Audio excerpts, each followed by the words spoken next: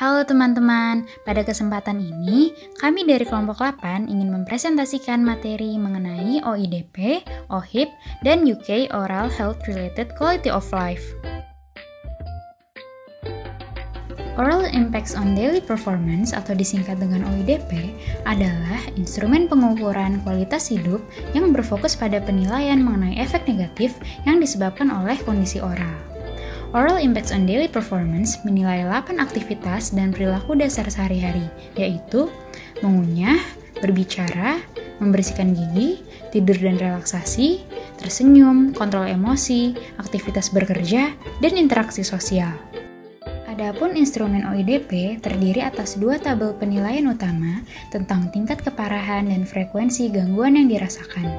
Penilaian tingkat keparahan memuat 8 aktivitas dan perilaku dasar seseorang yang akan dinilai dengan menggunakan skala Likert yaitu 0 sampai dengan 5, di mana 0 tidak ada dampak dan 5 dampak sangat parah.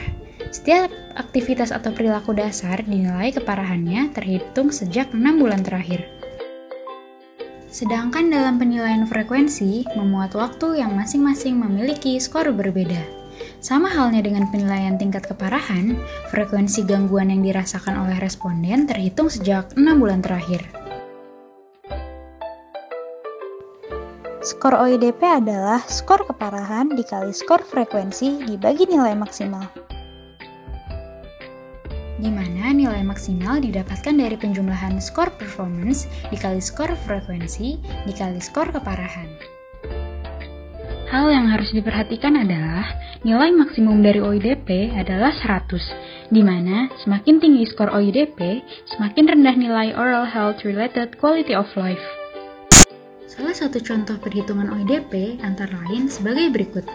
Responden A diberikan pertanyaan oleh surveyor. Dan setelah diberikan pertanyaan oleh surveyor, berikut adalah jawaban dari responden A. Setelah didapatkan skor frekuensi dan tingkat keparahan, selanjutnya dianalisis dan dimasukkan ke dalam tabel hasil berikut. Kemudian dilanjutkan dengan menghitung skor OIDP dengan cara mengkalikan skor frekuensi dengan skor keparahan, kemudian dibagi dengan nilai maksimal, sehingga didapatkan hasil skor OIDP sebesar 27,5. Selanjutnya adalah OHIP atau Oral Health Impact Profile. OHIP merupakan instrumen yang paling komprehensif dan banyak digunakan untuk mengukur kualitas hidup terkait oral health.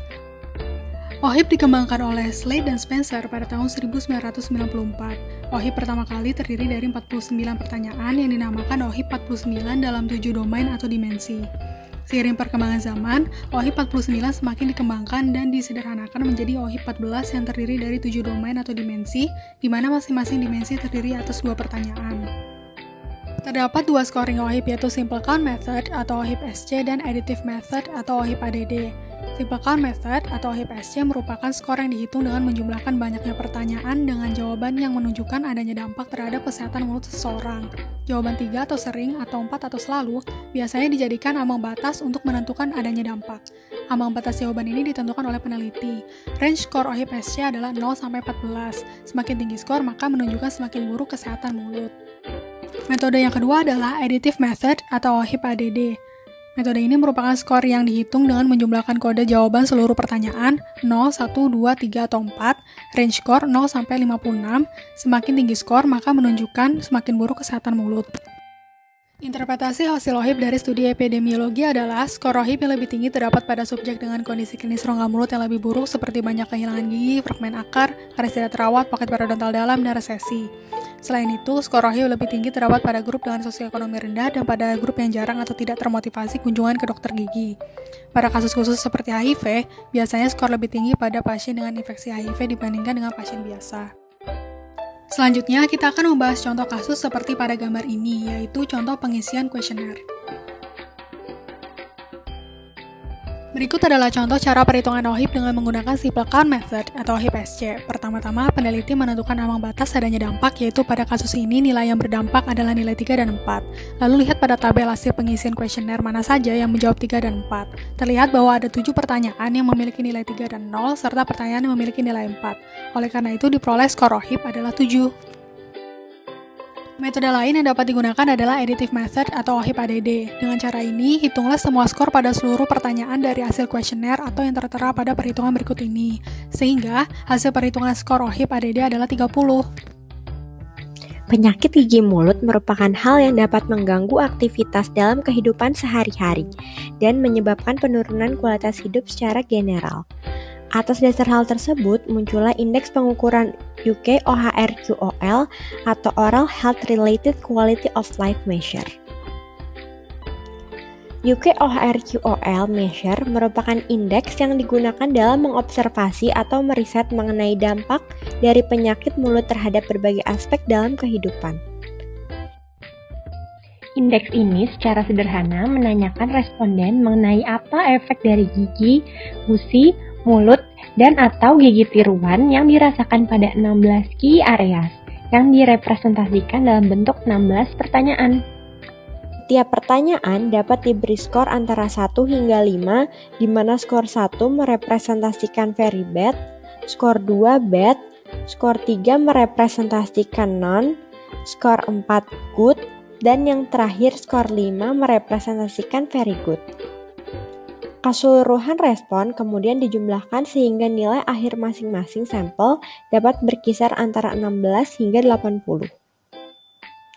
16 pertanyaan yang diajukan mencakup comfort, breath odor, general health, eating, appearance, speech, relax or sleep, smiling or laughing, confidence, mood, carefree manner, personality, work, social life, finances, and romantic relationship.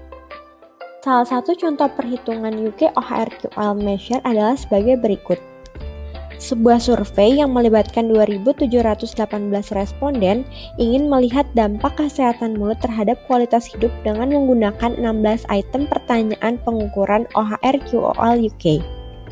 Jumlah responden yang mengisi survei secara lengkap dari nomor 1 hingga 16 hanya 68% atau sebanyak 1.838 responden. Data hasil survei kemudian dapat direpresentasikan dalam bentuk tabel. Kolom pertama menunjukkan aspek yang dinilai.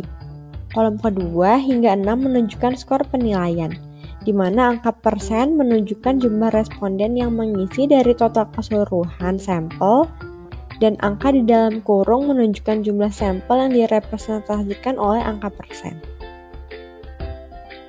Sekian penjelasan mengenai OIDP, OHIP, dan UK OHRQOL. Terima kasih.